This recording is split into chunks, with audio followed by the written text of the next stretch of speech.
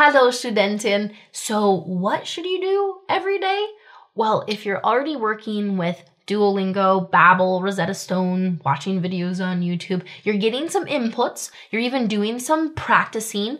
But as your German teacher, I am excited to share with you a very special drill that students that go from just dabbling in German to actually speaking German, they do something like this. So I'm going to show you this drill, also set you up for doing it at home, you know, repeatedly on your own. And we're going to do the drill six times over over with it always getting more and more difficult and with a different focus, a different grammar focus every time. So we're going to look at some of the hardest grammar that uh, that students tackle, whether that's something to deal with nouns, you know, gender, plural case, especially case, declensions that ties in as well. I'm really, really excited to share this with you. So without further ado, let's get started. This is how you set it up. So notice that there are columns and in the columns, I am putting words that belong together, right? Or parts of speech. So here I have der, die, das, which are three of the ways of saying the in German, right? The masculine way, the feminine way, the neuter way. In the second column, now I have a series of nouns. These are all masculine, feminine, or neuter nouns. And then in this next column, just a single verb. And in the final column, I have some common adjectives. So then how we do this exercise is we are going to jump through the columns, making selections and then write it all out, right? We're like, we're stringing sentences together. So again, I'm just going to show this to you first. So if we start with der, Okay, so we're saying the, but we're saying the masculine the, so we have to pick a masculine noun. So for example, Opa. Okay, der Opa. Now in the next column, we don't have a choice. It's just ist, and we're doing that on purpose. And then in the final column, picking out an adjective such as alt, right? So old. Der Opa ist alt. Okay, that's our first sentence. So then we go through again and we make a new selection, such as die. So now we need to choose a feminine noun, such as Schwester, sister. Again, in the next column, we don't have an option. That's by design. And then in the final column, we choose a different adjective, such as klein, meaning small. Die Schwester ist klein. Okay, so notice that the focus of this exercise, if I were to give it a label, is that here we're practicing noun gender and we're practicing it specifically in the nominative case, right, for subject nouns. And that's then all about the der, die, das getting paired up correctly with the various nouns in the second column. So one more example with this particular drill, das, now using the neuter way of saying the, specifically in the nominative case, right, used for subject nouns. Then we have to pick out a neuter noun such as kind, meaning child. Then we kept the verb simple, right? For all of these people, it's just ist the whole time, right? For is. And then for good measure, we're also practicing some common adjectives. Das Kind ist freundlich. The child is friendly. So again, we have der Opa ist alt. Die Schwester ist klein. Das Kind ist freundlich. So now on to the next drill. Again, it's the same setup. We have the same columns. It's even still just four, but now this time we're going to be practicing specifically plural nouns. So we still have der, die, das. I put in an additional D as the plural D, right? Uh, that's kind of an optional thing if you find that confusing and you would rather work with just the one word D in the column and you know you use it for feminine nouns or for plural nouns. That's fine. But I decided to break it up this way. So now, still drawing on some of those uh, family members, right? Or just basic people nouns. We have Frau, Kind, Männer, right? The plural of man is Männer, men, Kinder, children, man, and now Frauen, right? Women. So now in the next column, we have to have two options. It can't be just ist. We also have to have sind for those plural nouns and then the same adjectives. So now if we run through this drill, we make a selection, der. Okay, now we need a masculine noun and it has to be singular, not plural. So, for example, der Mann, we have to choose the singular verb. So that's still going to be ist, just like we saw in the previous drill. And then whatever adjective suits our fancy. In this instance, groß. Der Mann ist groß. Okay, now in the next one, we're choosing D and we're choosing the plural D, okay, the one that I put down at the bottom. So now we're going to choose a plural noun such as Kinder, Kindi Kinder. Now we have to say sind, right? So that means are, the children are. And then we pick out a new adjective such as intelligent. Die Kinder sind intelligent. Final example, die, but now the feminine singular die. Die Frau ist schön. Beautiful. Die Frau ist schön. So then to recap, we have der Mann ist groß, die Kinder sind jung, Die Frau ist schön. And that was using this sentence builder drill, focusing on plural nouns in the nominative case and practicing basic adjectives. So now move it along. This is the third iteration. We're going to focus now on that verb column, change things up there. So we still have der, die, das, and die again. We're going to work with those exact same nouns, right? Just Mann, Frau, Kind, and then their plurals, Frauen, Männer, and Kinder. And now, wow, check out our verb column. This has grown. Okay, so we have war and waren as the simple past tense. So this is were um, in in English, but of course in German we have two different ways to say that: the singular way and now this plural way. And then still ist sind in the present tense. Then we have wird and werden, which is the future tense, right? So will be, and then wäre and wären, which means would be. And then all of those same adjectives, right? So notice that when you're doing this drill, it's really important that you choose one, what thematic vocab you're going to work with, you know, like people or family members. Um, and it's also important that out of all of the columns, you have to decide what is your grammar focus, right? You don't want to have every column just, you know, filled to the gills with, with words. At least you don't want to start there. Um, it's better, like how you saw in the very first drill, if you can have some columns that are so bare that they maybe even have just one word, so you're not making an actual selection at all um, and, and other columns that are longer because those are the ones you're focusing on. Here, since a lot of this is repeated, okay, I think it's still okay then to have the, the, uh, so to have so many columns that are full because it's a lot of repeated information. Okay, so if we run through this, for example, die, and it's going to be feminine singular, die Frau. Now, what are we going to choose? Okay, wäre. So the woman would be, right? The emphasis is on the verb tenses here. That's what we're practicing with this drill. Die Frau wäre reich, right? So the woman would be rich, you know, like if she follows through with this great idea or if she had followed through with a great idea. Die Frau wäre reich, okay? And then it really should have more of a dot, dot, dot because there has to be other information with that. But anyway, we're staying focused. Das Kind war klein. Okay, so das Kind war klein, the child was small or short, and then of course it grows. And then finally, die, but now the plural die, die Männer werden alt. Okay, so the men become old, right? Are getting old or will be old.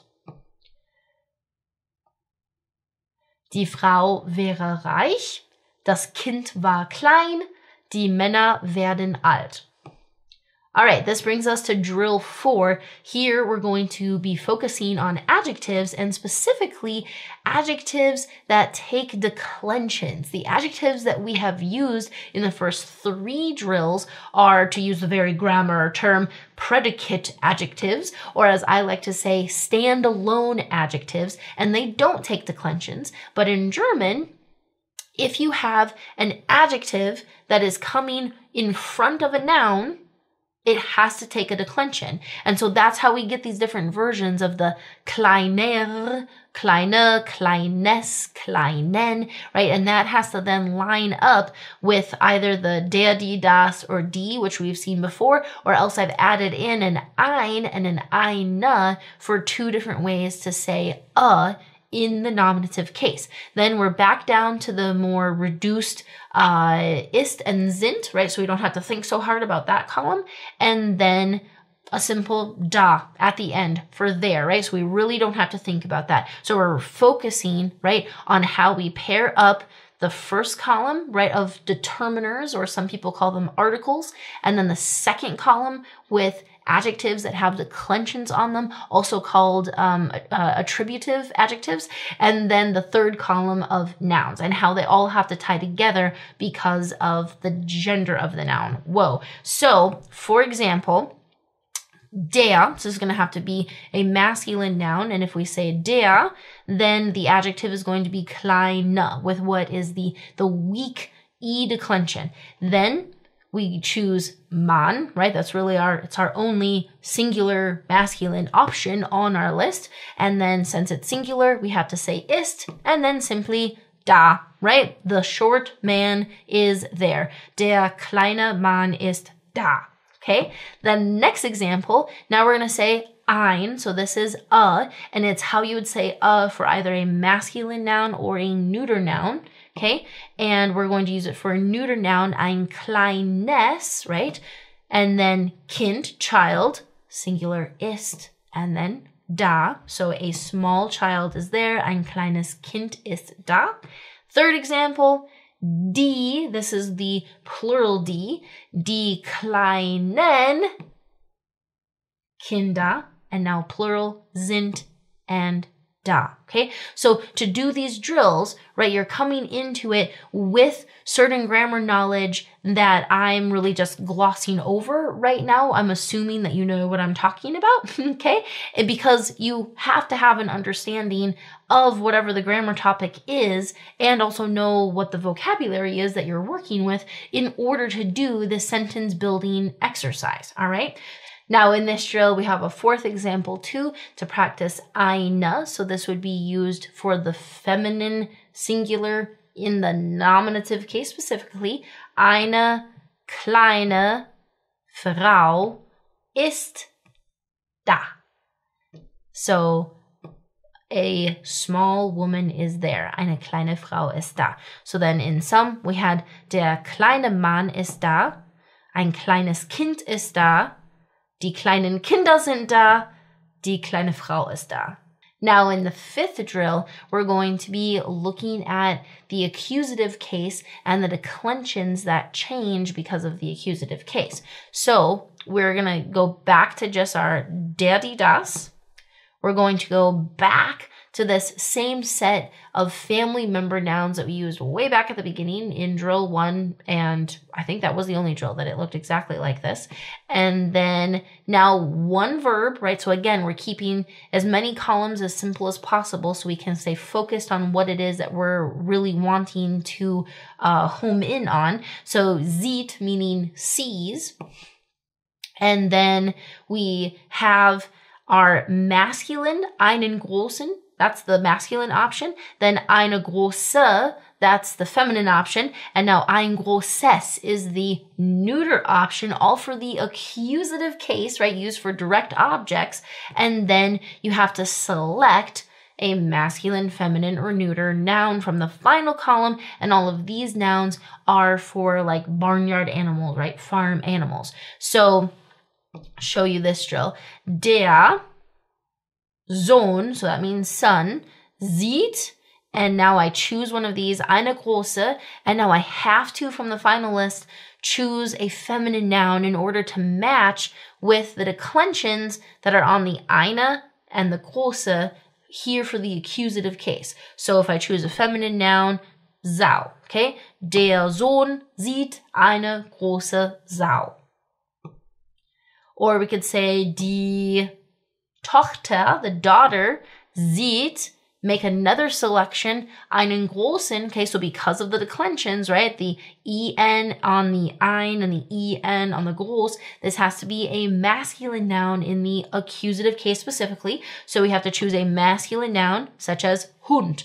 yeah? die Tochter sieht einen großen Hund. So if you are a beginner, and at this point you're you're feeling a little lost or a little overwhelmed uh, that's okay. That's understandable. And i have other videos that uh, cover the grammar that i'm kind of taking for granted right now cover that more in depth. So i encourage you to watch those videos. Okay but moving on to our next example uh, for those who are far enough along that they can track with me das kind sieht ein großes, so this is going to be a neuter noun in the accusative case, Kaninchen. Okay, das Kind sieht ein großes Kaninchen. The child sees a big bunny. Okay, so then we recap those. Der Sohn sieht eine große Sau. Die Tochter sieht einen großen Hund. Das Kind sieht ein großes Kaninchen. Okay, this is our final drill, drill number six. Okay, so we still have the der, die, das. We still have these family members. Now we have a new verb, but again, it's just one because that's not our focus. So gibt meaning gives. And now check it out. We have the dative case. You have all of the same barnyard animals that we were just using, but now instead of being in the accusative case, they're in the dative case as indicated by the dem and the der, right? So the dem being used for masculine and neuter nouns and the der being used for feminine nouns.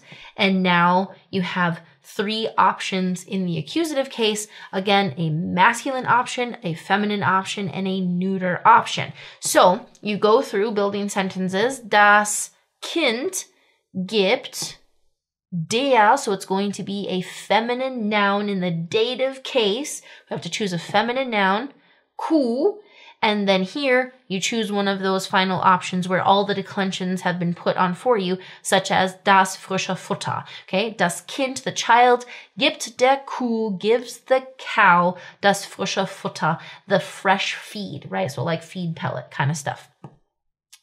Or we could say die Schwester, sister, gibt dem, and after this selection, we choose either a masculine or a neuter noun, such as Bock, which is masculine, den bunten Klee. So over here, I'm also choosing the masculine option in the accusative case just because the actual meaning of it makes the most sense, right? That the sister is giving the ram the colorful clover, okay? Die Schwester gibt dem Bock den bunten Klee. Final example, der Mann gibt dem Kalb die warme Milch. Okay? Der Mann gibt dem Kalb die warme Milch. Das Kind gibt der Kuh das frische Futter. Die Schwester gibt dem Bock den bunten Klee. Der Mann gibt dem Kalb die warme Milch.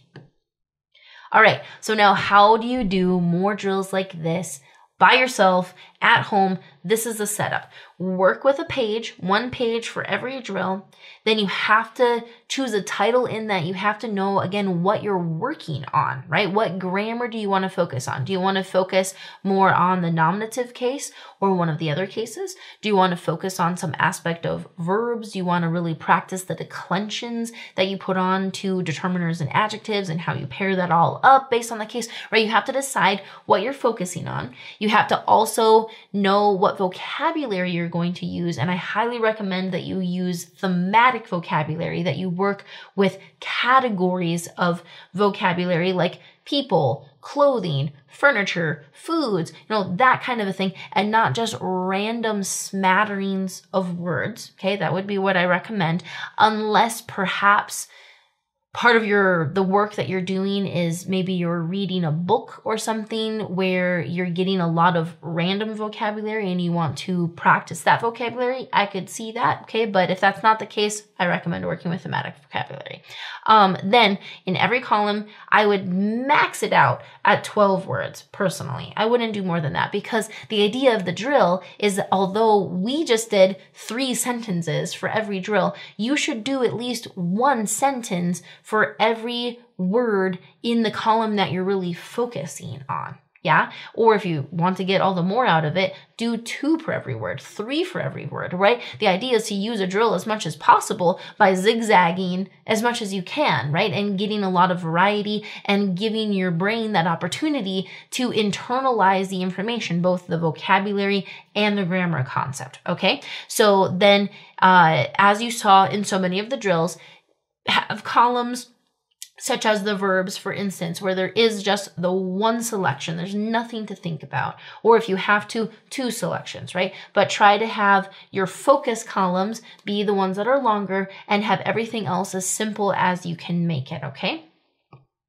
Then once you have your drill set up and you're actually doing the exercise, like I've already mentioned, right, that you're doing at least one sentence per each focus word, extra bonuses if you do some sort of color coding system or symbols or something so that you further analyze the sentences that you're writing. And, and really should have it set up where you have your columns you know, at the top of the page and then you still have space underneath, you know, many lines of space where you can write down each of the individual sentences that you're doing. So then with those sentences, once you have them, you can color code for case. I always do that with my students or color code the gender of the noun, stuff like that, where you're you're just you're analyzing what you've just written to further internalize important grammar concepts. All right, then very crucial if you really, really want to learn, you have to have someone check your work, right? You should have a native check your work.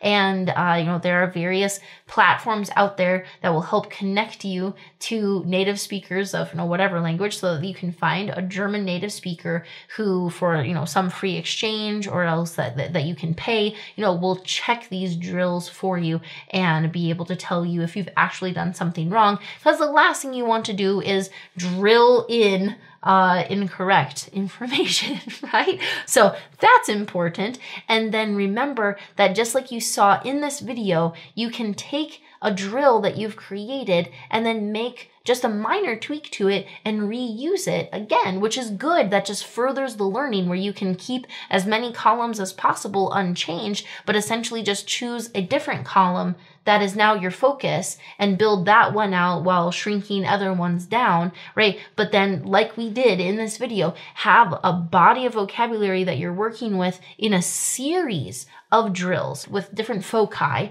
and, um, you know, and that again is just all to your good.